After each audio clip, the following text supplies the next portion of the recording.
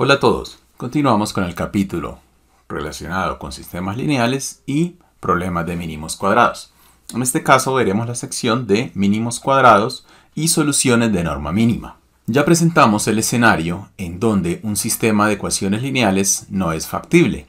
En general, cuando se tiene que el vector y no pertenece al rango de la matriz A. Es decir, no hay un vector x que satisfaga que A por x es igual a y. También mencionamos que en este escenario lo razonable es encontrar una solución aproximada, en donde se construya un vector de error residual r igual a x menos y, y este deberá ser tan pequeño como sea posible a través de alguna norma, en general una norma 2. Determinamos entonces ese x de tal manera que ese residuo sea minimizado a través de un problema de optimización en donde se minimiza la norma 2 de ax menos y a través de la modificación del vector x. Puesto que la función z cuadrado o la función cuadrática mejor es monótona creciente siempre y cuando el argumento sea definido positivo, entonces el problema anterior es equivalente a minimizar el cuadrado de la norma euclidiana es decir, minimizar el cuadrado de la norma 2 de ax menos y modificando el vector x. De esta representación cuadrática se obtiene la denominación de mínimos cuadrados o la solución de mínimos cuadrados a el sistema de ecuaciones lineales. Es decir, una solución que minimiza la suma de los cuadrados de los residuos en donde nuevamente tenemos la norma 2 al cuadrado de ax menos y, que es equivalente a la suma de 1 hasta m, por definición de la norma 2, sería i traspuesto por x menos y sub i. En donde los a sub i, lógicamente, son las filas de la matriz A. Presentamos entonces el resultado asociado a la solución aproximada del problema de mínimos cuadrados para ecuaciones lineales. Asumamos entonces que tenemos una matriz de m por n y el vector de salidas nrm. El problema de mínimos cuadrados admite al menos una solución. Más aún, cualquier solución x asterisco a el problema de mínimos cuadrados es una solución también para el sistema A transpuesto por A por x asterisco igual a a transpuesto por Y, las conocidas ecuaciones normales. Más aún, si A es de rank columna completo, es decir, el rank de la matriz A es igual a n, entonces la solución a el problema de mínimos cuadrados es única y está dado por la inversa de A transpuesto por A por A transpuesto por Y. En adición, si la matriz A es de rank completo entre las soluciones del sistema de ecuaciones AX igual a Y, entonces existe una solución que tiene la norma euclidiana mínima. Esa solución está dada por la relación A transpuesto por la inversa de A por A transpuesto por Y. Una solución interesante para los problemas de mínimos cuadrados en el caso de ecuaciones lineales es la relación que existe con la pseudoinversa. La pseudoinversa la tratamos en capítulos anteriores. Entonces, nuevamente, tenemos matriz A, vector Y, y buscamos la solución X que minimiza la norma del error a X menos Y. Primero, asumamos que existe efectivamente una solución al sistema de ecuaciones ax igual a y. Cualquiera de esas soluciones es un minimizador de la ecuación 9, el problema de optimización. En adición, el problema de optimización tiene múltiple, inclusive infinita solución, siempre y cuando la matriz A no tenga espacio nulo trivial. Todas las soluciones de este problema de optimización son soluciones de las ecuaciones normales presentadas en las dos proposiciones anteriores.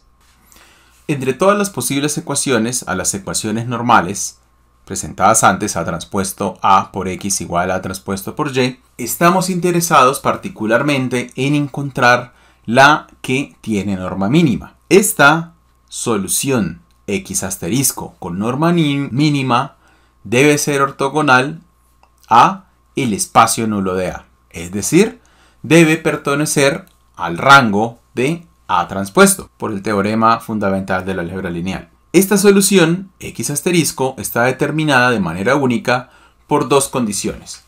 Primero, debe pertenecer al rango de A transpuesto. Y B, debe satisfacer las ecuaciones normales. En particular, esa solución se expresa simplemente en términos de la pseudoinversa de Moore-Penrose que presentamos en capítulo anterior, en donde la solución x asterisco no es más que la pseudoinversa de Moore-Penrose de la matriz A por el vector y. El problema de mínimos cuadrados puede tener una variedad de diferentes interpretaciones, dependiendo el contexto de la aplicación. A continuación, presentamos algunas interpretaciones de el problema de mínimos cuadrados. La primera de ellas está asociada con algo que ya mencionamos antes, y es la solución aproximada de un conjunto de ecuaciones lineales, en donde, en el caso en que el conjunto de ecuaciones no sea factible, a través de una solución exacta, se puede relajar el requerimiento a través de una solución aproximada, que minimice la norma de un vector residual r igual a x menos y. Otra aproximación típica en el caso de la aplicación de problemas de mínimos cuadrados son las regresiones lineales. En este caso, asumamos que tenemos un vector a sub i traspuesto de 1 hasta m y son las filas de la matriz A. El problema de mínimos cuadrados puede ser reescrito como la minimización de la sumatoria de los errores entre a i transpuesto x menos y sub i, todo esto al cuadrado. Es decir, en esta interpretación, los puntos de salida de algún elemento, de algún sistema y las entradas a sub i, las cuales estamos tratando de aproximar a los puntos de salida por medio de una función lineal f de a sub i igual a a sub i por x. Un ejemplo típico en dos dimensiones es el ajuste de una línea recta a partir de datos experimentales o medidos. Para ello asumamos que tenemos un conjunto de observaciones de salida de una variable y un conjunto de observaciones de entrada de otra variable xi. A partir de estos dos conjuntos deseamos encontrar una función afín f de xi es igual a x1 xi más x2, en donde esto se puede representar de manera vectorial como A transpuesto por X, en donde A son las observaciones de entrada xi y X son los parámetros. En este caso, X1 es la pendiente de la línea y X2 el intercepto, lógicamente, con el eje vertical. Presentándolo en términos de un problema de mínimos cuadrados, lo que tenemos es la función X1 xi más x2 menos y sub i, construyendo de esta manera el error cuadrático que quiere ser minimizado.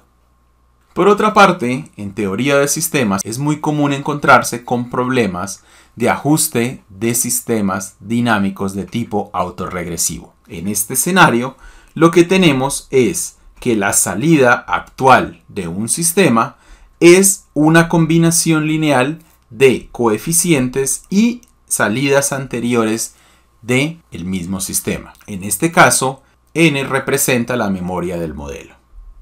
Si deseamos ajustar los modelos autorregresivos, contamos con las observaciones de la señal actual, es decir, y de t y las anteriores, y buscamos los parámetros x, de tal manera que el error cuadrático se minimiza, calculando en cada caso y de t menos x1 yt menos 1 hasta xn y de t menos n.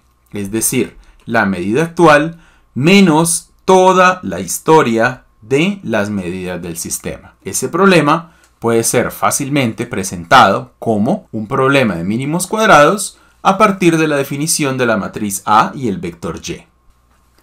Un enfoque muy común para los problemas de mínimos cuadrados es la recursividad.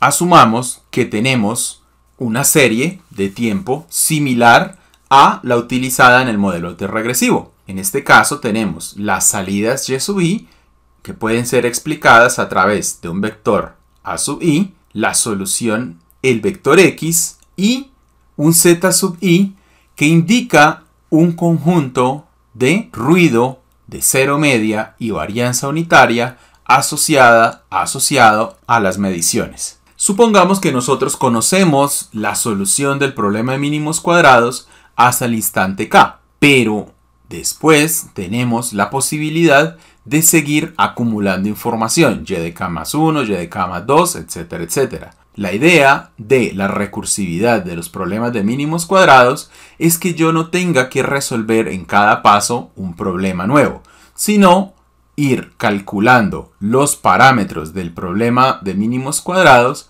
de manera secuencial. Asumamos que definimos la matriz A sub k que contiene las primeras k filas y Y sub k que contiene las primeras k medidas. La medida actualizada al instante k más 1, lógicamente va a estar definida por a sub k más 1 por x más zk más 1. Y construimos versiones matriciales que contengan el bloque hasta la, hasta la entrada k y la, la entrada k más 1, la medición k y la medición k más 1. Y definimos por simplicidad la matriz h sub k como a sub k transpuesto por a sub k. La solución óptima, en este caso, a partir de las primeras k medidas, va a ser, lógicamente, de las ecuaciones normales, xk igual a hk a la menos 1 por a sub k transpuesto por y. Recordemos que este está definido como acá transpuesto acá. Mientras que la solución óptima para el caso k más 1 está dado por xk más 1 HK más 1 inverso a K más 1 transpuesto YK, en donde la matriz H de K más 1 puede ser calculada como H de K más vectores AK más 1 por AK más 1 transpuesto, lo cual si nosotros deseamos calcular su inversa es equivalente a la inversa por bloques perturbada de la ecuación 11 en el capítulo 3 que puede representarse a través de estos cálculos, los cuales, si son sustituidos en la ecuación 13, nos proporcionan la solución para el instante k más 1 a partir de la solución anterior, la solución hasta el instante k, y la medición en el instante k más 1. Es decir, a través de las últimas dos ecuaciones, se puede obtener la solución recursiva actualizando cada vez que llegue una medida en el problema de mínimos